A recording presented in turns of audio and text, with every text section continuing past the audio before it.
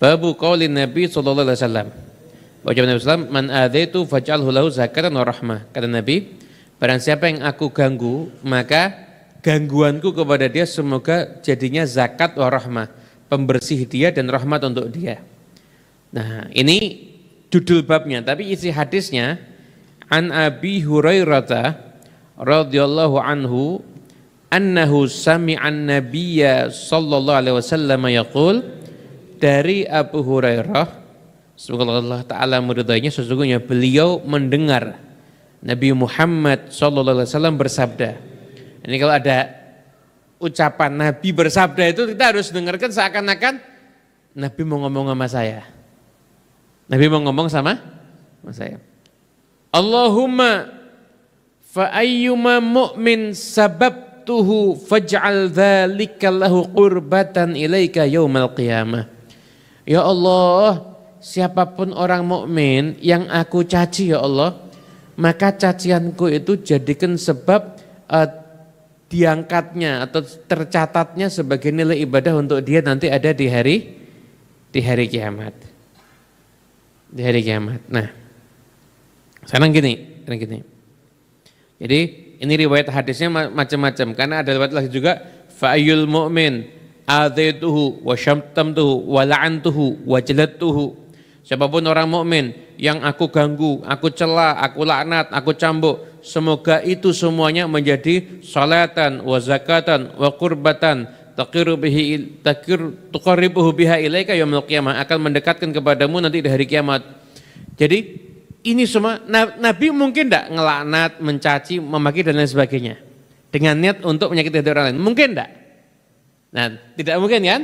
Nah, berarti hadis itu, hadis itu memahaminya itu harus melalui akalnya para ulama.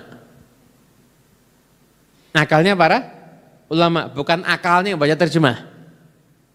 Kalau memahami hadis pakai akalnya yang baca terjemah, ngawur. Memahami hadis itu pakai akalnya para ulama. Nah, ini kita memahami hadis ini melalui akalnya Imam Ibn Hajar. Imam Ibn Hajar kok punya akal pikiran seperti itu gimana? Dapat dari gurunya. Gurunya dari apa? Dapat gurunya sampai ke Nabi Rasulullah SAW. Nah, jadi pemahaman itu itu harus ada sanatnya. Pemahaman itu tuh harus ada harus ada sanatnya. Anda bisa bayangin kalau setiap orang ngarang sendiri, pada kadang-kadang ngarangnya nggak jelas. Ada orang-orang tertentu yang ilmunya laduni Allah Ta'ala kasih, ada seperti itu. Cuma eh, setiap orang ngaku begitu ya repot. Akhirnya isinya orang ngarang semua nanti. Orang ngarang semua nggak ada yang menyampaikan ilmunya para ulama, nggak ada yang menyampaikan hadisnya Rasulullah SAW. Maksudnya itu begini, maksudnya itu begini. Masjid itu seperti ini. Ada ada beberapa versi, nggak usah saya bacakan semua.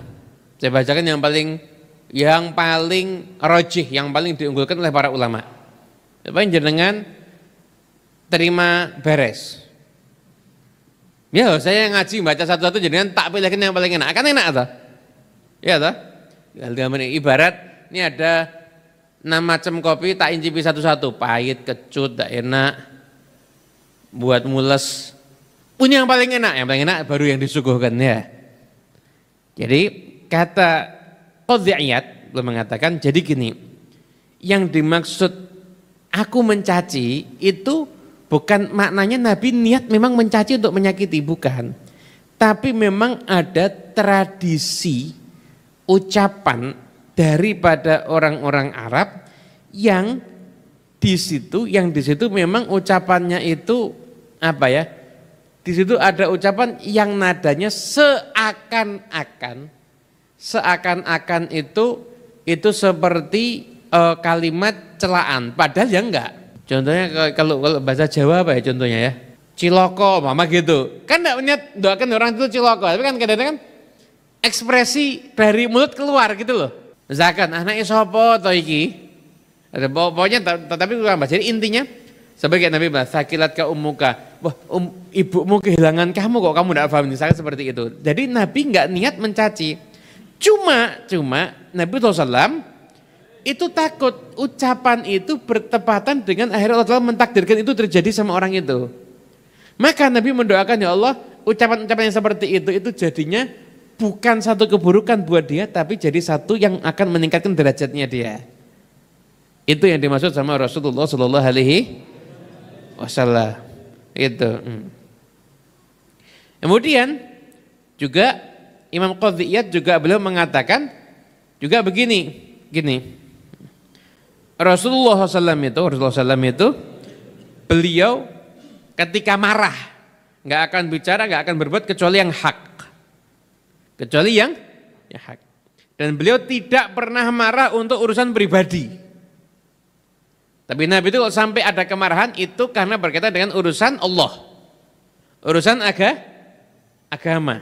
Jadi begini, ada aulia-aulia Allah yang memang sangat keras terhadap menyaksikan kemaksiatan. Sangat marah ketika menyaksikan kemaksiatan. Kenapa? Karena memang kondisi batiniah mereka itu mereka selalu menyaksikan kebaikan Allah. Paham enggak? Ini ini kondisi ini, ini kondisi ini jadi gini. Ada orang jadi gini, ada orang rajin ibadah tapi lihat orang maksiat ngamuk. Itu kadang-kadang ada niatnya karena apa? Aku reso maksiat kok kowe iso? Ngamuk terus ya. Karena gitu. Penyakit ini, penyakit. Pernah itu ada cerita, ada cerita ada satu orang, Bu ini preman kelas kakap. Tiap hari maling, mabuk, zina sampai jadi pos mafia dan sebagainya. Udah umur 80 tahun mau masuk Islam. Yang satu orang, saya mau masuk Islam, bisa apa enggak? Jangan. Jangan. Nanti disunat, capek nanti, tidak enak. Islam tidak enak. Dia tidak usah masuk Islam aja. Tidak usah masuk Islam aja. Dangi, ini padahal mau masuk Islam. Dia dulunya kafir, mau masuk Islam. Jangan. Disunat, suruh bayar zakat, sholat, capek, tidak usah. Bisa masuk Islam. Akhirnya bingung, akhirnya tidak udah masuk Islam. Terus ketemu sama ustadz yang lainnya. Saya masuk Islam bisa apa enggak? Saya, bu bisa silahkan. Loh, tapi saya ke ustadz yang itu kok katanya enggak usah masuk Islam. Kok aneh ya? Di Islam kan satu tanya, kamu bilang fulan itu enggak usah masuk Islam ya? Iya, lah enaknya. Sudah maksiat sampai umur 80 tahun, terakhir mau mati mau masuk Islam. Ya enggak, biar ngerasa ke neraka dia. Nah kan ini ustadz ngawur ini. Enaknya kita ngempet, ndak maling, ndak zina, ndak minum minuman keras. Dia ngelakoni semua, ndak pernah ngempet, udah mau mati baru masuk Islam. Ndak wis ben ngerasa kita rokok Nah, tapi ngawur ini, tidak boleh. Kadang ada orang ndak suka maksiat, tapi motifnya pikirannya ke isi kepalanya orang itu. Paham ndak? Nah, tapi ada orang kekasih-kekasih Allah Ta'ala, yang memang hatinya itu selalu menyaksikan kebaikan Allah. Jadi ketika dia lihat kemaksiatan, maka dia itu akan merasa marah. Marahnya kenapa? Tuhan sebaik Allah kok didurhakai. Tuhan sebaik Allah kok perintahnya dilanggar. Tuhan sebaik Allah kok diperlakukan seperti itu nggak ditaati. Itu membuat dia marah. Gitu itu yang membuat dia mah marah. Marahnya itu karena Allah Subhanahu Wadah ketika orang yang dia marah itu tobat, seketika dari marah dia akan berubah menjadi cin, cinta. Kenapa? Karena dia nggak lihat si pelaku enggak, tapi dia lihat Allah Tuhan sebaik itu kok didurhakai gitu. Ada yang keadaan seperti itu. Ada keadaan seperti itu. Rasulullah SAW itu ada juga yang dia lihat kebaikan Allah dan dia selalu berpasang dia bilang Allah Ta'ala nggak akan ngamuk kok sama Allah Ta'ala nggak akan marah. Dia nggak ridho, tapi Allah Ta'ala nggak akan marah. Jadi dia lihat maksiat ya dia, ya ingkar tapi biasa. Nah, karena yang ada kesaksian batinnya dia Allah Ta'ala nggak akan marah. Kalau Allah Ta'ala itu maha pengampun gitu loh. Nah ini Nabi SAW itu tentu yang paling ideal. Rasulullah SAW itu lo nggak nggak pernah marah untuk pribadi dan kalau sampai marah nggak akan berucap, nggak akan bertindak kecuali sesuatu yang hak. Lah, Kadang-kadang karena cintanya Nabi pada Allah Ta'ala mungkin kemarahan Nabi itu langsung spontan cepat. Nabi SAW takut kalau itu membahayakan kepada umatnya. Sehingga Nabi SAW langsung mendoakan, kalau sampai aku marah, aku akhirnya ada ekspresi kemarahanku yang terlalu cepat itu tadi, maka itu semoga menjadi rahmat untuk yang dapat kemarahan tersebut. Itu menunjukkan betapa cintanya Nabi SAW kepada umat umatnya. Itu jadi sampai Rasulullah SAW itu nggak mau nggak mau umatnya itu kena sedikit pun sesuatu yang nggak baik. Akan berjuang agar umatnya sebisa mungkin mendapatkan kebaik kebaikan itulah Rasulullah Sallallahu Alaihi Wasallam. Sallallahu Nabi Muhammad.